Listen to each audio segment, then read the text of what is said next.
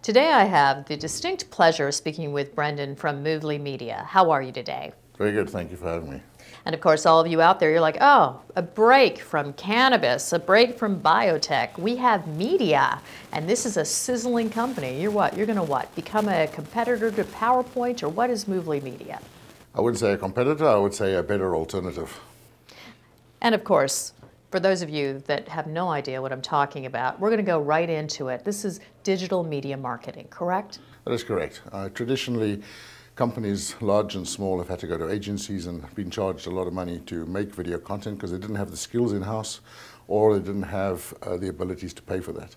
We've democratized that through the use of technology and licensed uh, digital assets from other companies and produced a tool that allows anyone who can literally drive a mouse or an, and a keyboard to be able to make rich multimedia content.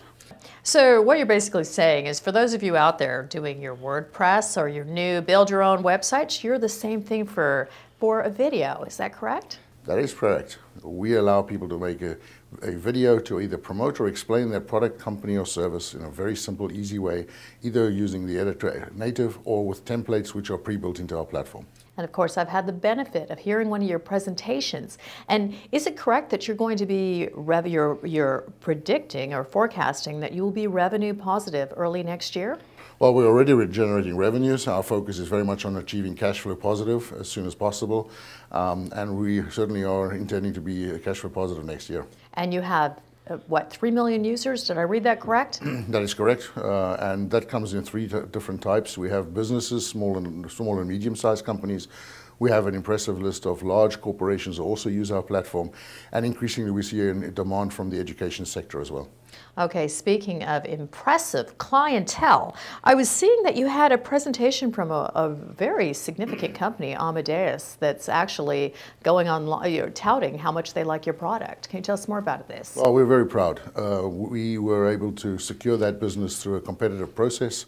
They looked at the industry, they did a several month evaluation of multiple companies, including ourselves, and uh, we were selected through that process.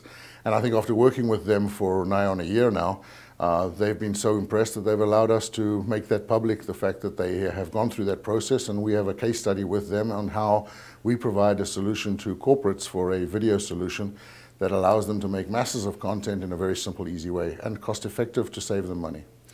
okay, so what is the most exciting news that you have with Moovly Media as we move into the holidays for all of you shareholders looking for something in your stocking?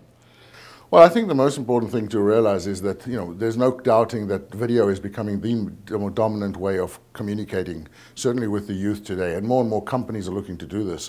So if you're looking to create a end of year greeting or you're looking to invite people to your Christmas party, don't send them an email, send them a video, uh, and they will. It's, it's going to get read, it's going to get much more appreciated, and certainly I think people will laugh as well.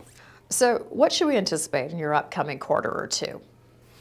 I think increasingly we are seeing revenue growth from our corporate side, which complements our e-commerce business, which has been there for a while, and through partnerships and resellers, we're also expecting to see that so those sorts of partnerships kick in and generate some revenue for us as well, bring us past cash flow positive, and from there, so we scale the business. So, Brandon, thank you so much for joining us today, all the way in from Belgium. Thank you for having me.